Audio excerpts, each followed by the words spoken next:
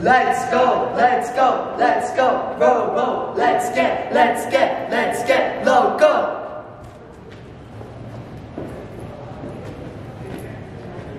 Whoa, wait, is that a lemon? Hi, my name is Joe the Safety Lemon. I'm RoboLoco's official mascot, and you seem pretty interested in FRC. Roboloco? What's Roboloco? RoboLoco stands for Robotics Loudoun County. We're a high school robotics team consisting of students from all across Loudoun County, and our goal is to share hands-on STEM experiences. STEM experiences, but I kind of don't know anything about STEM or mechanical engineering or coding. Can I still join the team? Of course you can.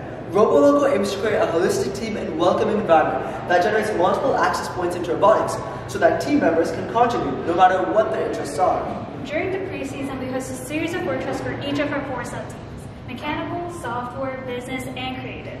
From CAD to creative design, our leaders work to ensure that all members, regardless of experience, have the fundamental skills that they need to succeed in a technical and non-technical sub-team of their choice.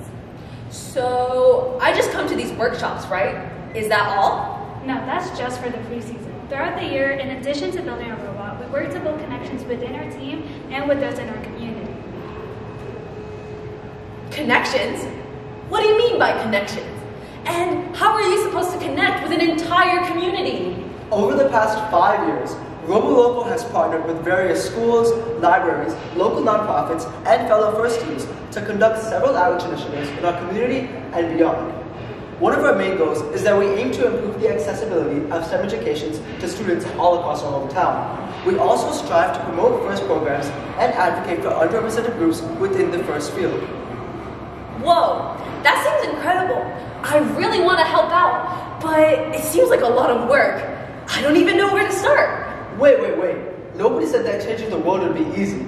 But don't worry, because here you won't be alone. Last fall, RoboLoco wrote and illustrated our children's book called Gerald and His Robot, which we used to introduce over 400 underserved preschoolers to STEAM, the Loudoun County's Head Start and STEP programs. We hosted four book parties at public libraries in order to do so, and we even translated our book into Spanish. Here, take a look. We also organized and hosted two Hour of Codes with the Academies of Loudoun Computer Science Honor Society for elementary school students at Title I schools. Together, we can create change in these communities. Wow, this book is amazing. I didn't even know robotics teams did stuff like this.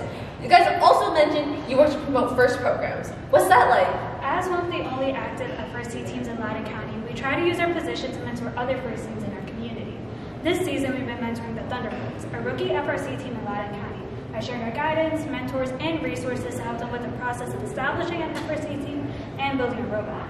We also invited them to our kickoff to brainstorm strategies and start up the season together.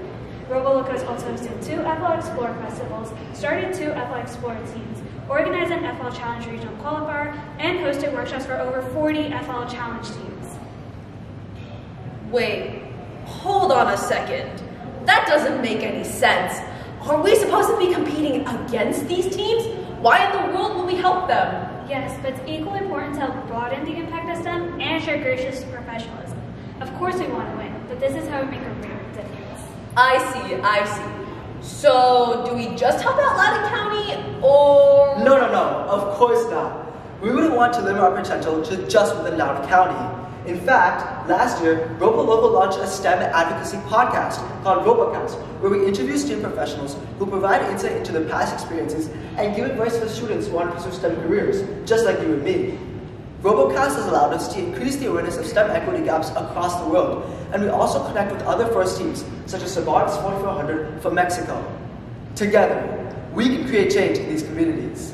And to help other FRC teams, especially rookies, we started First Steps, an online non-technical resource bank, since we noticed that unlike the technical components of FRC, there aren't many easily accessible resources to help teams with their non-technical. It's also completely collaborative.